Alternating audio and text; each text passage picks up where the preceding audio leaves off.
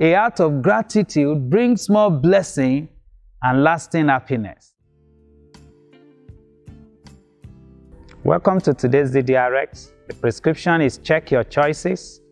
Deuteronomy 30, verse 19 I call heaven and earth as witnesses today against you, that have set before you life and death, blessing and cursing. Therefore, choose life, that both you and your descendants may live. We want to look at the 10 lepers. You know, it's a choice whether to be thankful or thankless. We have a choice between a grateful heart and a grumbling heart.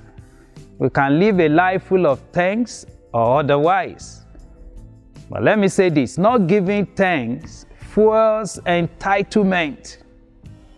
A heart of gratitude brings more blessing and lasting happiness. In 1 Thessalonians 5:18, Paul wrote, In everything, give thanks, for this is the will of God in Christ Jesus for you. In Luke 17, 11 to 19, Jesus healed 10 lepers after they cried to him.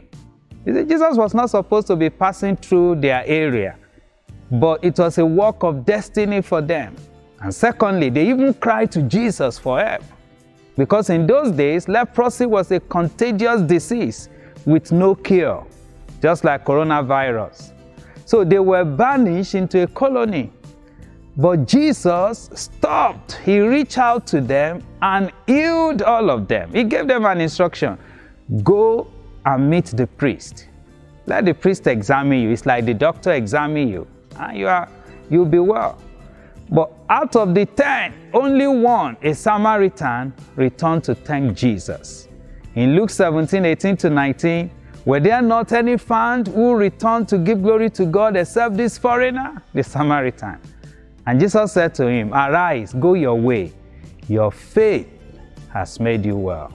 Although the other nine lepers were well physically, but this Samaritan received wholeness. Ingratitude may shut your heavens until you thank God your healing or your miracle is incomplete. So I want you to choose to be thankful.